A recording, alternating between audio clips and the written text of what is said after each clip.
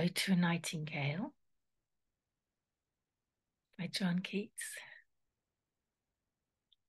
My heart aches, and a drowsy numbness pains my sense, as though of hemlock I had drunk, or emptied some dull opiate to the drains.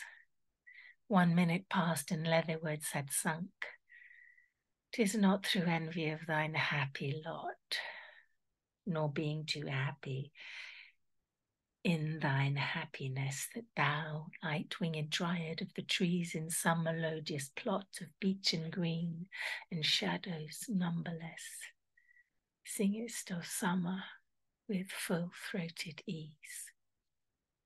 Oh, for a draught of vintage that hath been cooled a long age in the deep delved earth, tasting of flora and the country green, dance and Provençal song and sunburnt mirth. Oh, for a beaker full of the warm south, full of the true, the blushful hippocrene, with beaded bubbles winking at the rim and purple stained mouth, that I might drink and leave world unseen and with thee fade away into the forest dim.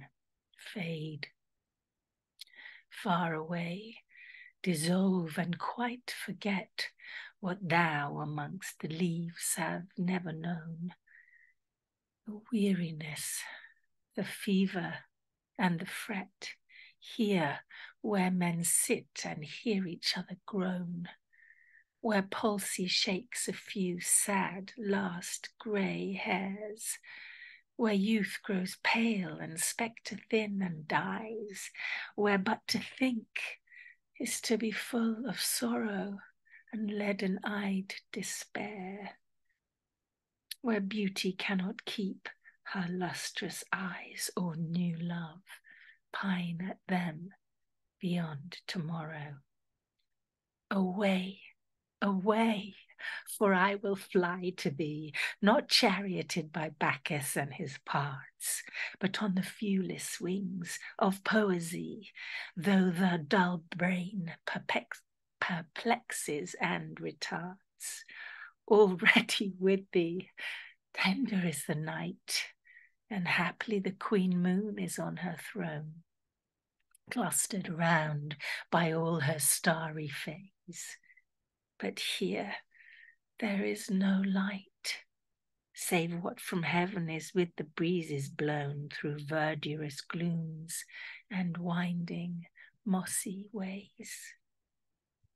I cannot see what flowers are at my feet, nor what soft incense hangs upon the boughs, but in embalmed darkness guess each sweet wherewith the seasonable month endows the grass, the thicket, and the fruit tree, wild white hawthorn, and the pastoral eglantine, fast fading violets covered up in leaves, and mid May's eldest child, the coming musk rose, full of dewy wine, the murmurous haunt of flies on summer eves.